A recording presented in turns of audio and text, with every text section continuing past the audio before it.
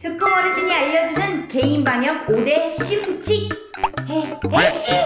아이고 슬슬 춥네. 아프면 3, 4일 동안 집에 머물기. 이불 밖은 위험해.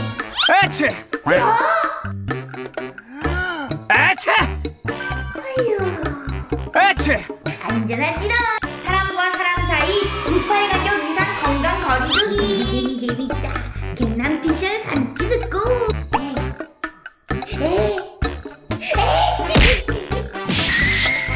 기침은 휴지나 옷소매로 간지